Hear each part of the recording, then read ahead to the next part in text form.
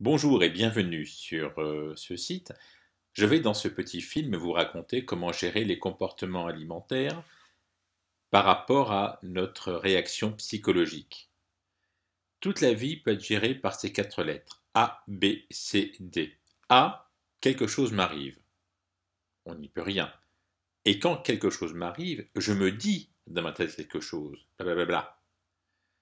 De ce que je me suis dit, découle automatiquement un ressenti, et de ce ressenti va découler automatiquement une action.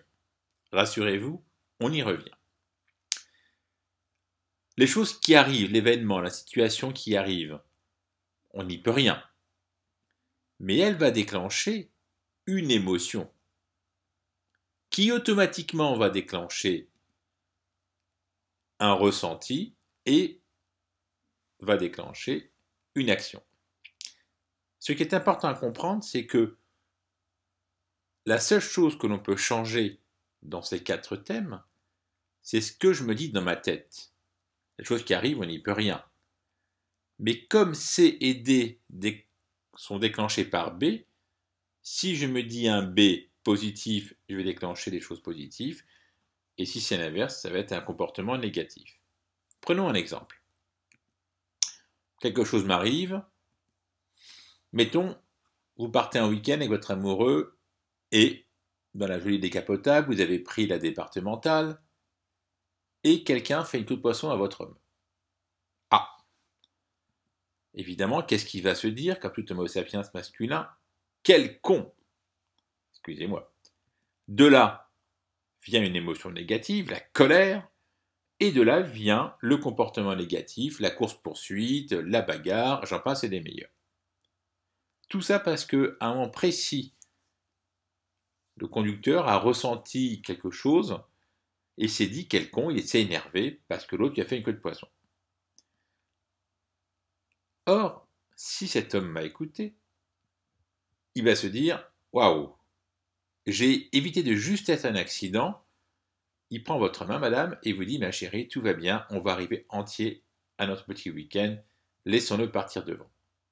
C'est uniquement un switch qu'il a fait cet homme sur sa façon de réagir. De là, émotion positive, comportement positif, il prend votre main, tout va bien, le week-end s'annonce bien.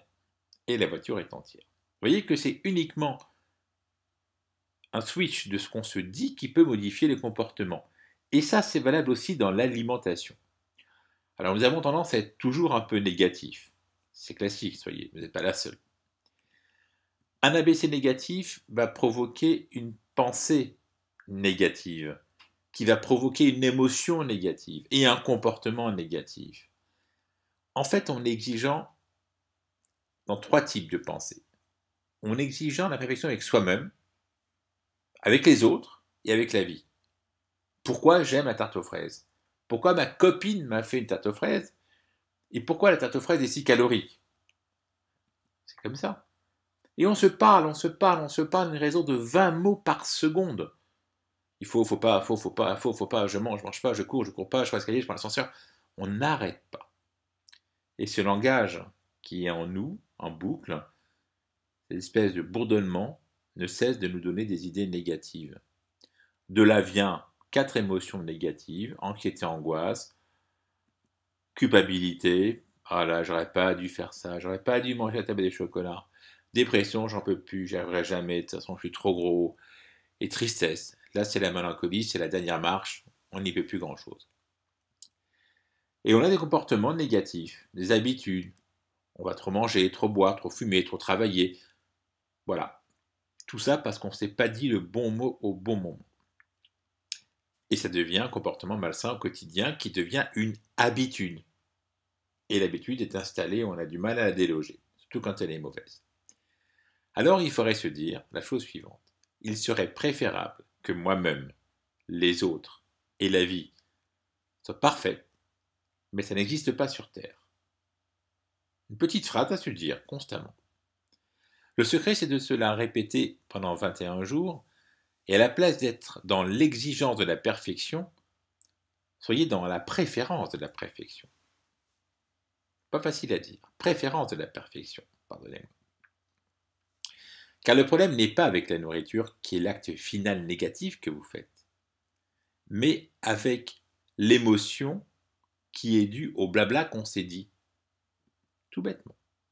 Je répète, il serait donc préférable que les choses, que moi-même, soient parfaites, mais c'est un idéal qui n'existe pas sur Terre. À la place d'être dans l'exigence de la perfection, soyez dans la préférence de la perfection. Et tous les jours, pendant 21 jours, vous vous le dites, vous le dites, vous le répétez. Vous allez voir que petit à petit, vos comportements alimentaires et autres vont changer.